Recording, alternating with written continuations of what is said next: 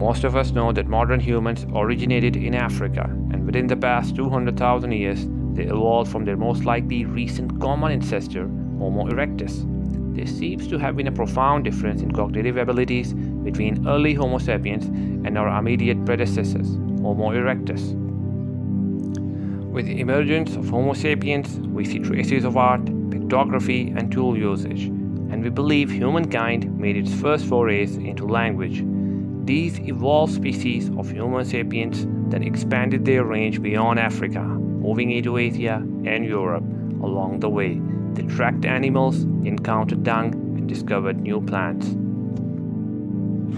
However, the great embarrassment to the evolutionary theory is that there is no explanation for how such a major organ like brain was dramatically transformed in complexity in a narrow window of time to create the jump from Homo erectus Homo sapiens.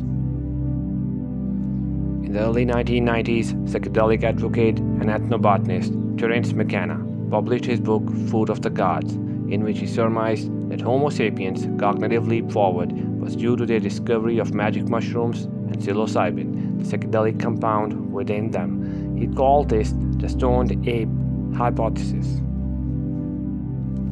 According to McKenna, psilocybin caused the primitive brain's information processing capabilities to rapidly reorganize, which in turn kickstarted the rapid evolution of cognition that led to the early art, language, and technology written in Homo sapiens archaeological record. Many modern users of psychedelics claim the world never looks the same again after such an experience.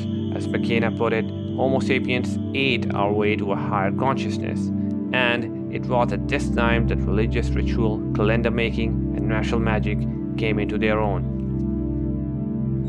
For many years, many scientists have dismissed these ideas as a story rather than an explanation based on proven facts. There are other researchers who have studied early humanity's use of drug plants but who are skeptical of the hypothesis proposed by McKenna. They consider the idea too simplistic, potentially a reduction of a complex evolutionary process into a single moment. McKenna, who died in 2000, passionately believed in his hypothesis, but it was never seriously considered by the scientific community during his lifetime. Now, However, his idea has acquired great attention after we have found evidence in support of his theory. In particular, evidence has been found that Stone Age humans ate mushrooms. German anthropologists discovered mushroom spores on the teeth of prehistoric women who lived around 18,700 years ago.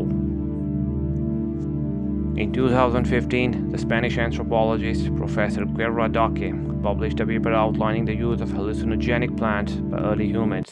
Additionally, Neolithic and Bronze cave paintings that resemble psilocybin mushrooms were found in the Italian Alps and in Villa del Humo in Cuenca, Spain. Many incredible findings like these all over the world are suggesting now that perhaps McKenna was right all along. It is finally time to take the stoned ape hypothesis seriously. Doing so requires integrating our advancement in scientific research on psilocybin recent archaeological discoveries, and our understanding of human consciousness, and fitting these into our current understanding of human evolution. Today, when we are finally gathering the pieces of human evolution together and trying to make the sense out of it, we consider McKenna's hypothesis as a totally plausible answer to a long standing evolutionary riddle. Whenever we talk about expansion of human mind and consciousness, we remember his words. I believe that the psychedelic experience was a light at the beginning of the history, that this is actually the thing that we have now reached a sufficient level of analytical sophistication to discern the force that pushed the animal mind onto the human stage. Do subscribe and hit the like button if you like this video, and don't forget to share your opinion on this theory proposed by McKenna.